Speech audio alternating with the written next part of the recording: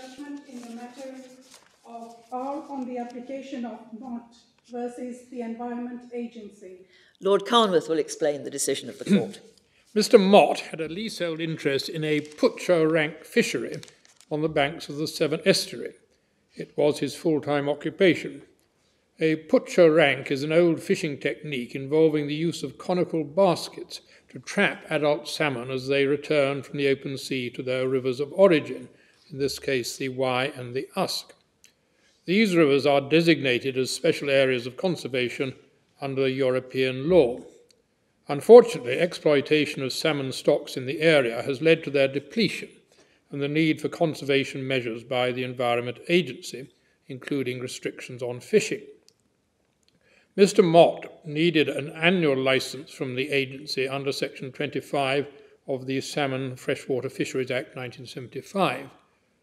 In June 2012, the agency notified Mr. Mott of their intention to limit his catch to 30 fish for the 2012 season and lower limits for subsequent years.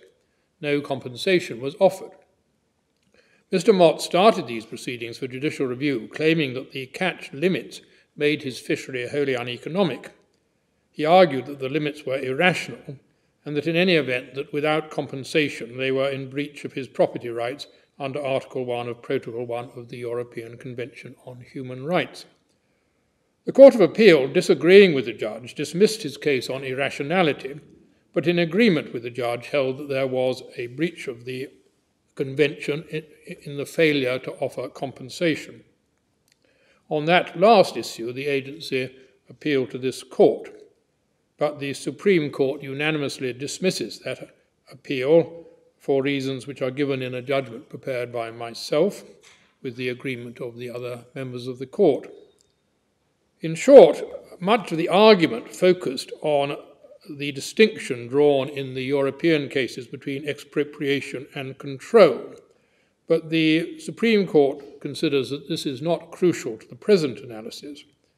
The important question in this case was whether, in the absence of compensation, the effect on the particular claimant was excessive and disproportionate and um, inconsistent with the fair balance required to be drawn under the Convention. The special importance of environmental protection must be recognised, but it is not overriding. The court finds no error in the judge's evaluation in this case. He was entitled to hold that the conditions imposed by the agency were closer to deprivation than mere control, and that the agency had given no consideration to the particular impact on Mr. Mott's livelihood. This was exceptional on the facts, both because of the severity of the effects on him and the disproportion of those effects as compared to other people affected by the restrictions. The decision cannot therefore be taken as giving rise to a general expectation of compensation for adverse effects of environmental controls in other cases, but on the facts of this case, the judge was entitled to reach the view he did. Thank you. The court will now adjourn.